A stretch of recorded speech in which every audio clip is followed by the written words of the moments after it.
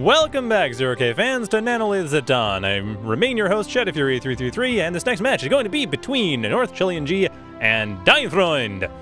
So let's get started. North Chilean G starting out with oh no, Obsidian. Yes, Obsidian, which is a very, very one lane map. This is the map. There's also side bits, but for the most part, people just go along the main line of the map. So yeah, that's the map. Anyway, North Chilean G going for gunships straight off with rapiers. DeinFreund, on the other hand, going for a spider bot factory makes some sense for the cliffs. I mean, these cliffs are bot pathable for all bot factories, so you don't have to go spiders, but spiders do suffer less of a speed penalty going uphill. Or to be more precise, they're always slow.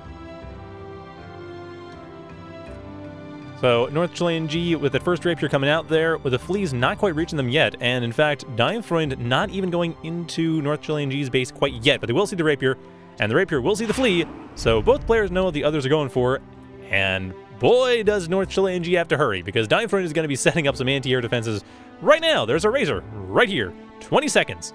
That's all that there is for this Rapier to come in, and actually that's not going to be enough time. The Rapier will not get there fast enough. It can be used for harassment and such, but it's not going to be able to get into DeinFreund's base. DeinFreund, should also point out, is starting out quite a bit more forward.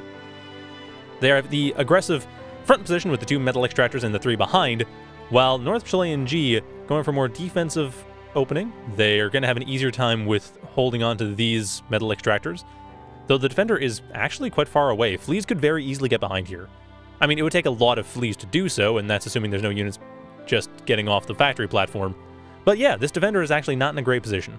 So it's possible for DeinFreund to get a flea basically around back here, and then it would not have line of sight.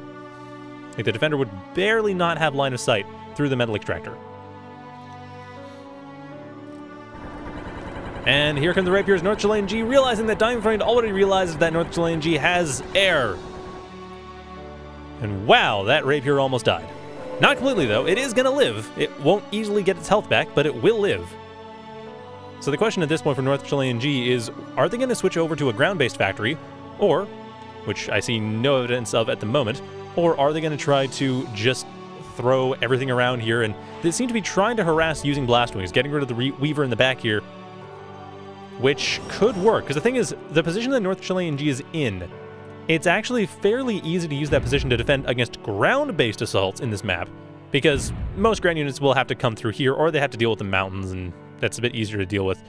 Whereas it's slower for them to get around, but with air units, it doesn't matter, because air units fly over everything, because that's what flying means. So for North Chilean G, this is actually very easy to harass. DeinFreund doesn't really have a whole lot they can do to stop an attack in the backside of their base.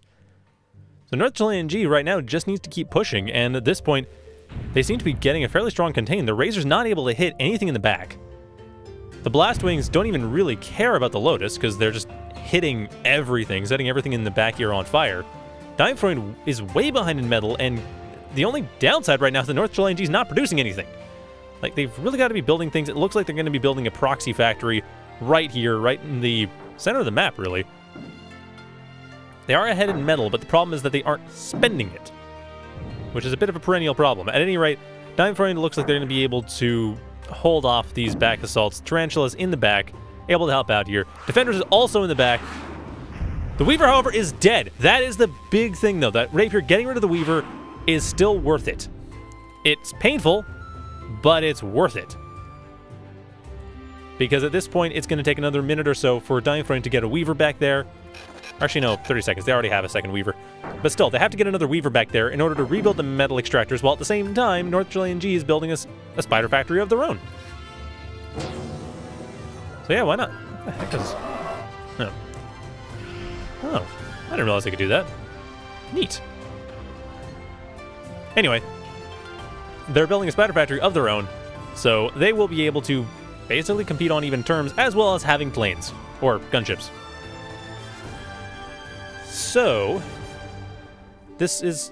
I don't know you guys are talking about Gamma. Sorry, people are talking about the Gamma of the stream, and as far as I can tell, I mean, bear in mind, the color is compressed. Like, don't forget, the color is compressed. I can't actually do anything about this right now anyway. So, sorry about that. I mean, I'm still trying to figure out what color settings are ideal compared to the previous settings. It's just yeah, colors in web video is compressed in a slightly weird way that I haven't researched enough to be sure what to do. And yeah, I said it was neat that I can see reclaim cost by hitting reclaim. I didn't realize that was a thing you could do by just hovering on top of units. Although that might be a new thing. It looks like a spring engine thing, actually.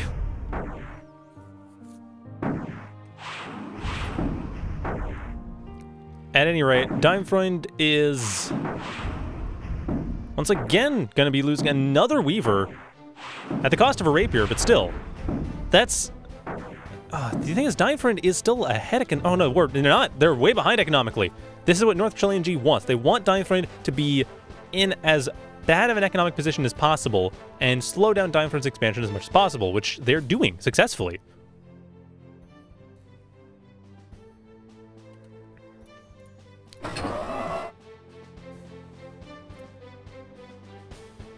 Hmm. All right, well, I'll have to, I'll look at the video stuff in the meantime, in between the casts, but for now, let's just keep going. Everyone in the chat is going on about the fact that the video is looking wonky. It's like, yes, I'm sorry. I don't know how it's supposed to look. At any rate, the the point is that we have a bunch of hermits coming in. DeinFreund basically trying to retaliate through direct assault over the centered lane, which yes, I'm sorry, is going to be tricky. For, know how. Oh yeah, it is a bit dark. How about that? Wow. Okay. I. That's a fair point. All right. Well, I'll look into it. I mean, it's really hard for me to actually test it because I can't change the video settings during the stream. But anyway, Sorry for those watching on YouTube about hearing about Let's Talking Shop. That's really not what I want to do. It's just, I don't like having things look bad. So, regardless, we have DeinFreund finally getting an economic advantage. They do have pretty much the entire northeast and eastern side of the map, while North Chilean G, while they were able to slow down DeinFreund's expansion for quite some time, don't seem to have really managed to hold onto that advantage some artillerying going on here with the Recluses, but that's not going to last super long. Now, at this point, if North G is able to push into DeinFreund's base, DeinFreund right now only has 20 metal per second into the factory, actually 30 with this, 37.5 with the Weaver. So DeinFreund can use that metal, assuming they get the energy to use it with, which they don't currently have, and currently are building power plants to get. And in the process are reclaiming things they don't necessarily want to reclaim. And, ooh, Eastern side getting hit by a couple rapiers by North Chilean G. I wasn't sure if that was going to work out, but having gotten rid of that one Lotus, life becomes a lot easier. Although one of the rapiers will go down. This rapier over here is going to die. The second rapier should be okay. Ah. Oh, that was interesting micro. Looked like North Chilean G just managed to get that rapier out of the laser, out of the Lotus range just in time. Anyway, anyway, at the same time, we have small Hermit Recluse attack over in DeinFreund's front fire base.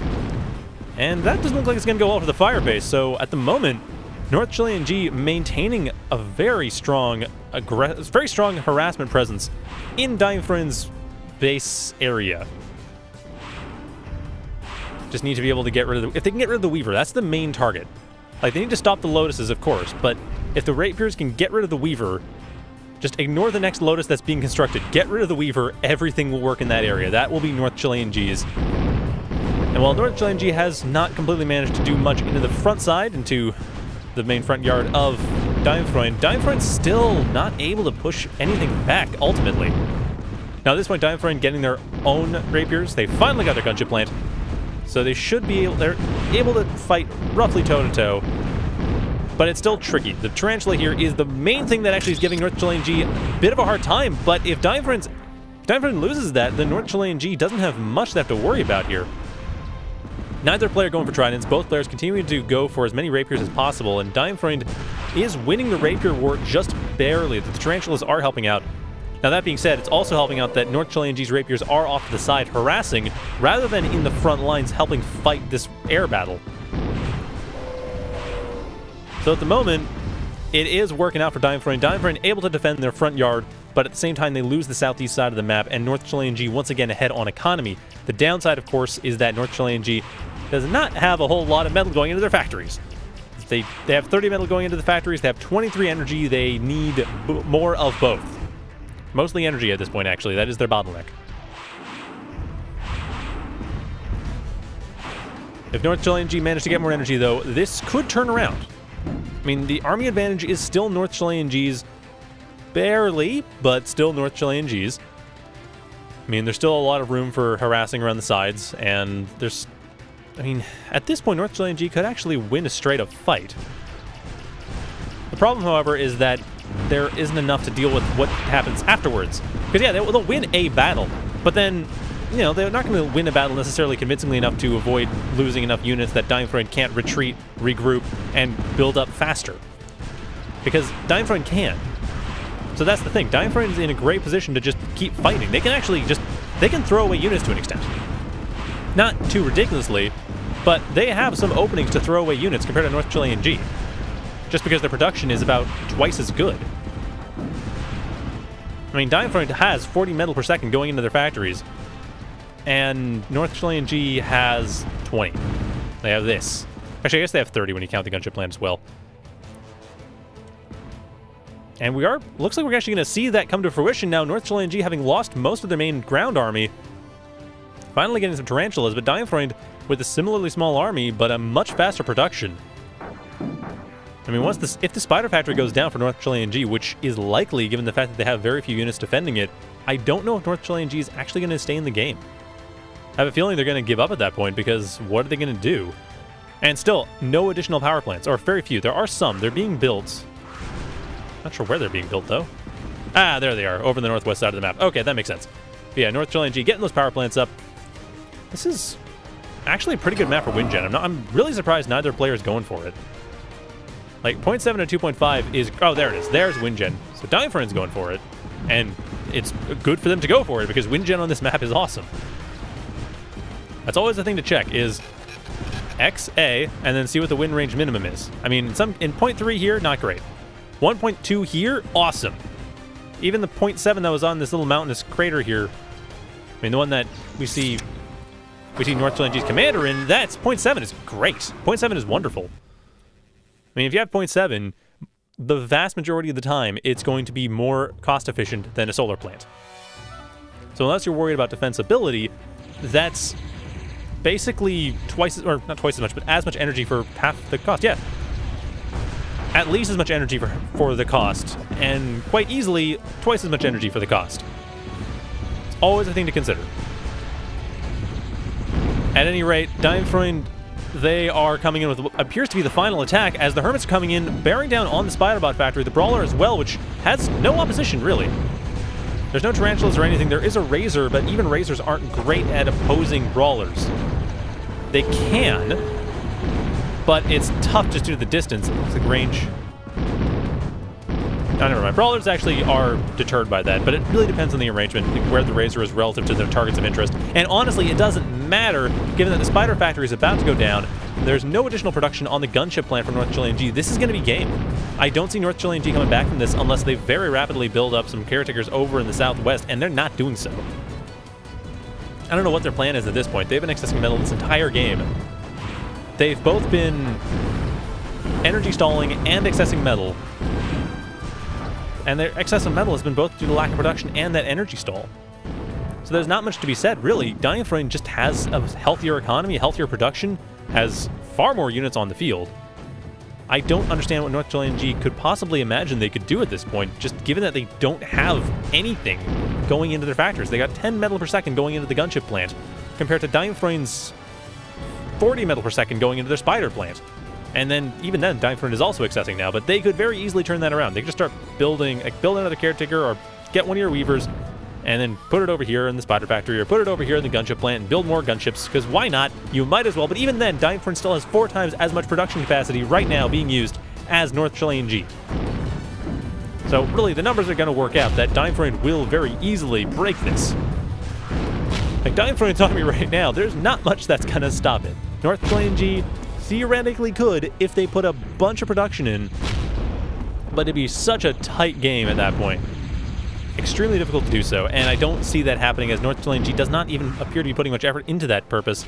They do have a Cloakybot factory that's proxied over in the northwest side of the map. I still think it's too little too late, but at least it's something. And they can at least use up the 500 metal that they have. They have access way more than that. But at least they can use some of it. It's just, they don't really have the energy. They're, all their metal is going to end up being in the northwest side of the map now. I mean, really, this game has just been a demonstration of why it's super important not to excess and to keep building energy to use your metal and to keep building caretakers and workers to use your metal because North Chilean G had this game. I mean, they were harassing wonderfully. They were doing a great job just keeping Diamond from getting anywhere until ultimately Diamond was able to use the metal they did manage to get far more effectively than North Chilean G did their own. And at that point, well, we see what happened. And even then, Diamond already kind of prepared with a just a battery of defenders. I mean, the Glaives can do some damage here to help deal with this a little bit, but no, it's not going to work. And DeinFreund, realizing this, throws in the towel. What did they excess? Wow! Okay, so North Chilean G and DeinFreund actually had a very similar excess at the very end. The important thing is in the middle period, actually, DeinFreund had more excess. Interesting. Oh, that's right, yeah. Yeah, that was true earlier on. But yeah, for about, looks like five minutes or so, North Chilean G had easily more excess. Like, a couple thousand more excess. There was like a flat 1500 coming out of DeinFreund for most of the game until the very, very, very end. And North Chilean G, up to that point, accessed almost 4,000. Like, that is amazing. And given the fact that they didn't even use a lot of the metal in the first place, yeah, once again, it was just a matter of getting stuck at a low production. And ultimately, not enough units got made, and not enough unit value was in play, and North Chilean G just couldn't manage to hold on to it because they just didn't build enough to keep their army going.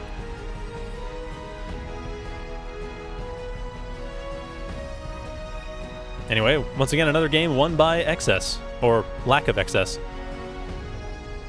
that is that. The next game is going to be between... Let's see. Ah, Anarchid and R3, who I've actually never really seen play before, but apparently they're a really good player. So, yeah, R3. New to me, but apparently fairly good. So, R3 and Anarchid on Adansonia will be up in a couple moments, or a couple minutes, so stay tuned.